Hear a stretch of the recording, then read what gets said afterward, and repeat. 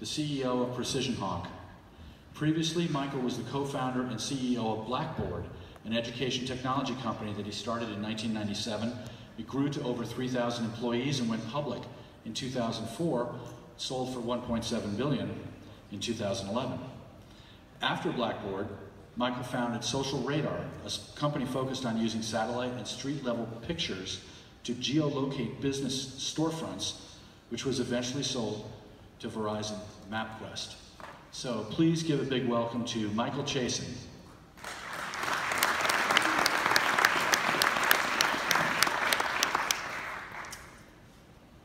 Hello, everyone.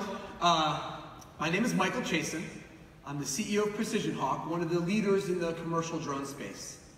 Now, I am a little new to this industry. Uh, I joined Precision Hawk only in January of this past year, but I'm not new to working in emerging markets, and I'm not new to working in companies that can fundamentally make a difference as markets evolve. As you just heard, prior to Precision Hawk, I was the co-founder and CEO of a large globally learning software company, Blackboard. Uh, if you go back to college now, or if you have kids in K through 12, you might register or sign up for your classes online, hand in your homework online, take tests and quizzes online. Uh, I helped embed the software that enables institutions to do that at tens of thousands of schools around the world. I worked for 17 years at Blackboard before eventually selling the company. So, so people often ask me though, they said, why did you move from the education space into the drone space? And I explained that I've always been a person who has a passion for making a difference. That's why I started Blackboard.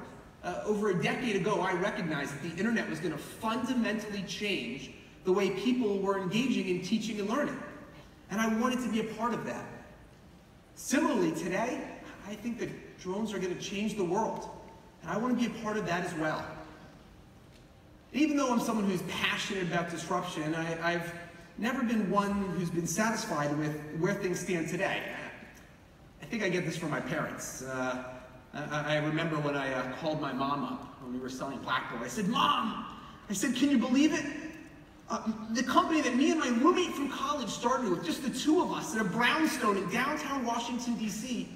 We grew to over 3,000 employees in 20 offices around the world. A company that started with just a handful of schools using our technology grew to have over 30,000 institutions and being used by tens of millions of students on a daily basis. A company that we started with just a few hundred dollars in revenue grew to eventually become a public company that I just sold for $1.7 billion. My mom said, son, that's great. But remember, you're not a doctor. Jewish mother from a certain segment of the audience will understand that. So look, uh, I think I, that's where I get my drive of never being satisfied with where things are today. And, and when I look at the drone industry, I, I feel the same way. Uh, there's still so much to be done. But when I was looking at joining Precision Hawk, I had a ask myself a fundamental question about what I thought that this opportunity really could mean in the long run. And to be honest, it's a question that I continue to ask myself almost every day. I mean, I get that the consumer drone industry is a multi-billion dollar market. And I get that the, the military drone industry is a multi-billion dollar industry. But is the commercial drone industry really going to take off? Is this a technology that's going to fundamentally change the way companies do business? Or to put another way, are drones the next iPhone or the next Roomba? And let me explain this in a little bit more detail. What I mean by this is, are drones a technology that are going to infiltrate and innovate every single industry and fundamentally cause businesses to recraft how they're engaging with the clients and how they're doing business? Is it going to change the fundamentals of business, the, the way that the iPhone did? Or are drones primarily an appliance, uh, maybe good for one or two things, but they'll fall under the umbrella of really a single-use technology. Now, I think that there are a lot of similarities between um, the drone industry and the, and the smartphone industry. So, uh, for example, I mean, both started really uh, maybe just having a shelf or two in the back of electronics stores, uh, like Radio Shack or Best Buy, or they were considered maybe a, a toy. But both have evolved to not only having entire sections of stores dedicated to showcasing this technology, but there are entire stores just dedicated to smartphones, and now there are stores coming out just dedicated to drone technology. Both smartphone technology and drone technology started as either just primarily being used by uh, the tech geeks or uh, often by children. And today we're starting to see the same way that business people and businesses started to adopt smartphone technology, we are now seeing corporations adopt drone technology as well. But the real value of the smartphone came when people started envisioning different applications for different industries and extending the phone with additional hardware. Uh, people were making it the, the center point to control their music or even their entire home. Or by developing applications, both for the consumer as well as for the different businesses that want to utilize this technology. And I believe that that's what we're starting to see with drone technology across various industries. For example, in agriculture, uh, an industry that Precision Hawk knows well, uh, farmers are taking drones and they're flying it over their farmland to get exact, precise counts of their plants.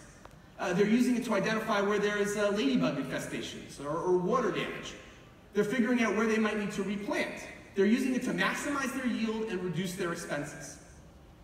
Uh, we're, we're, dealing with large agricultural clients. Uh, the, the, companies that uh, mix seeds and, and change genetics to try to maximize the value of the, the plants or the seeds that they sell. And they're using our drones to fly over their fields and map the plants on a daily or weekly basis and then use machine learning over time to see how those plants are growing and how they can improve the life and the yield of that material.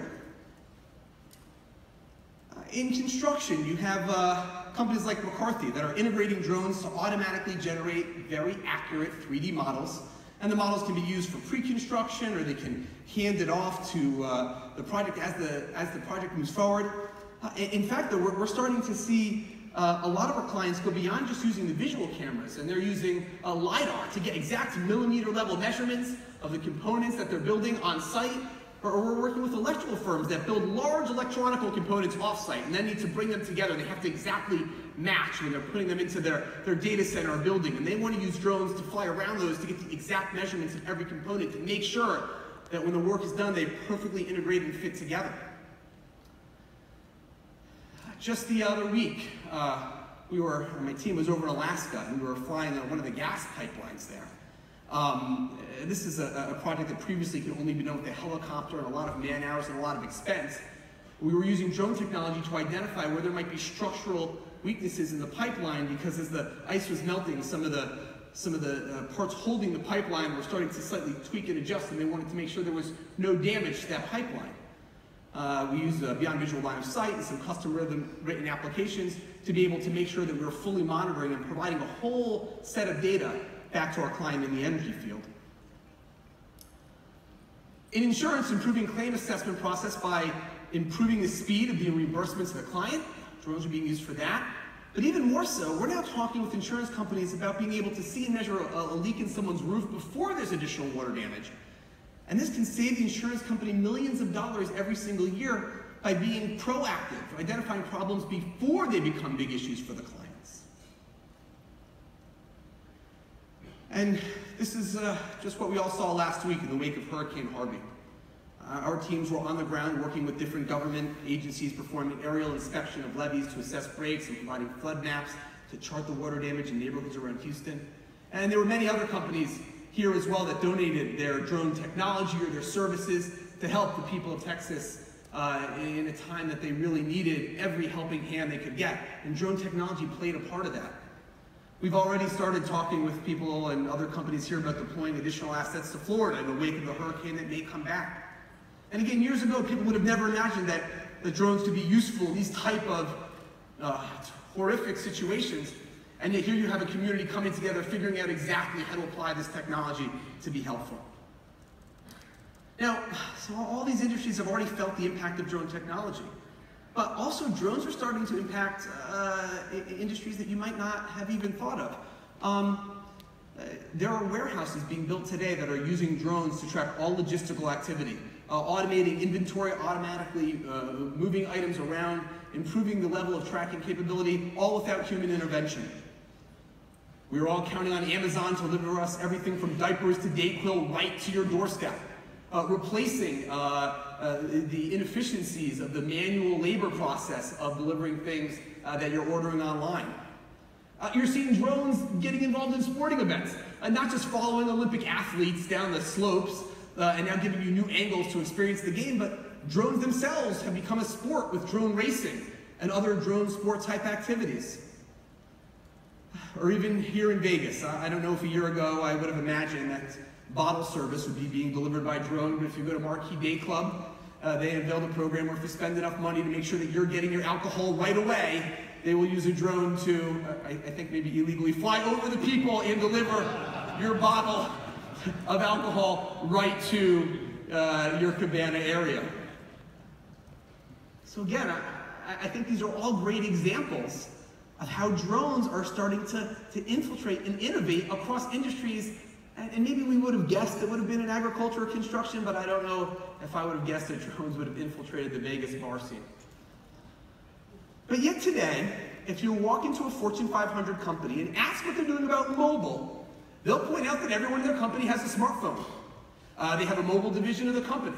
They have a, a, team writing mobile apps. The main way they interface with their clients is through uh, smartphones. And in fact, their product has a whole smartphone component. The core focus of everything many companies do today relies on mobile. Yet if you go into those same companies, the ones that are already even utilizing drone technology today, they couldn't point you to their drone division or their drone development team or the, the way that they're developing new drone apps uh, or the many ways in which drones may be interfacing with their customers. So the question that I ask this audience and, and, and myself is, okay, well, are we right on the cusp? Is it that we all see what's about to happen and, and maybe everyone else isn't yet aware of this huge tidal wave of innovation that's going to start wiping across every single industry? Uh, or is it that the technology today is still underdeveloped? Are there too many regulatory hurdles? Is that what's holding us back? Um, do companies not understand how to deploy this technology? Do companies not understand just the type of innovation they can unleash at this company utilizing this state-of-the-art technology? Are we being held back because of these things, or are we being held back because the product is as advanced as it's going to be, and uh, at the end of the day, what we've developed is a really good Roomba? Well, the bet that we're making at Precision Hawk is that the drone is the next iPhone, and that every industry it touches, it's going to revolutionize. Now, how are we preparing for that? In three ways. First, much like the iPhone had a bunch of add-on applications and add-on hardware technology, we are focused on making sure that drones have all of the hardware components they need, all the additional sensors. We're adding beyond just the visual and the video sensors, we're doing hyperspectral sensors or a LiDAR. We're starting to look at ground penetrating radar to make sure that this is all the input devices anyone might need across the different industries to make sure they're able to run and collect all of the data they need to make informed business decisions. Beyond making sure we have the right hardware components integrated with the drone, we're looking at building specific applications and algorithms that lets the drones collect and analyze the data, making it useful for the companies that want to deploy this technology. And second, we understand that this is a complex new technology.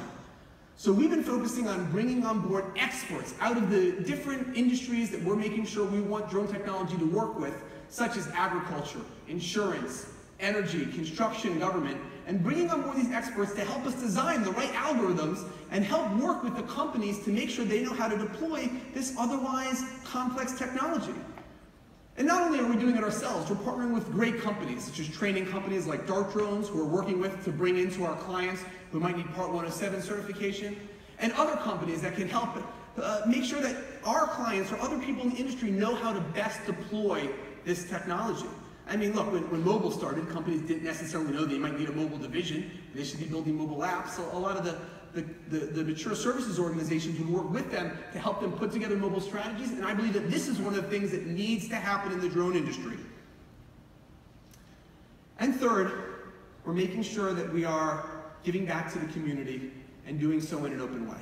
Uh, we announced at AUVSI that, that our software that helps you collect and analyze data, Precision Mapper, is going to be free for hobbyists, enthusiasts, uh, service individuals, people that need a, a, a, product to, to analyze the data that they're collecting and use it to make informed business decisions. So I encourage people, if you haven't tried it, go to Precision Mapper. We're covering the costs and all the processing time you need because we want to see this industry use and develop more business applications utilizing drone technology. And third, we're making sure that we help foster a community. We, we wrote our application on a set of open APIs. And so what that means is that anybody can write additional algorithms to process all of this data that the drones are collecting. We have a algorithm marketplace, uh, if you will.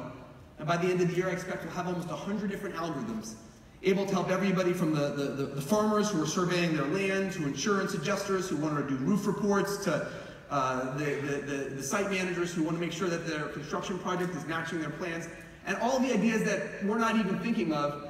You can use our platform, write algorithms, even charge for them if you would like, the same way that App Store works. But what we're trying to do is get all this intellectual property together to work to help elevate the entire industry. So yes, I do think that drones are the next iPhone. And I can tell you that we're directing the 150 people that we have at our company and the hundreds of clients that we touch every day to help move the industry in this direction. And so when I ask myself this on a daily basis, I say, yes, I do think that we are at the cusp. And it's not to say that we don't have to address the technology and the regulatory hurdles and helping clients themselves set up their organizations to take advantage of this technology. But I do, at the end of the day, believe we are on the cusp. We are on the cusp of seeing drone technology affect every single industry it touches. And uh, just in case I'm wrong, uh, we're, we're, working on this. I was very excited to be able to uh, share some of our thoughts and views, and I'm looking forward to continuing the conversation with many of you throughout the conference. If I don't get to see you at our booth, please, I invite all of you to come join us uh, at Hyde tonight in the Bellagio. Uh, Precision Hawk is hosting an after-hours party that starts at 10.30. Please stop by our booth and pick up a, a free invitation. I'd love to see you there and continue the conversation. Everyone enjoy the rest of the conference. Thank you very much.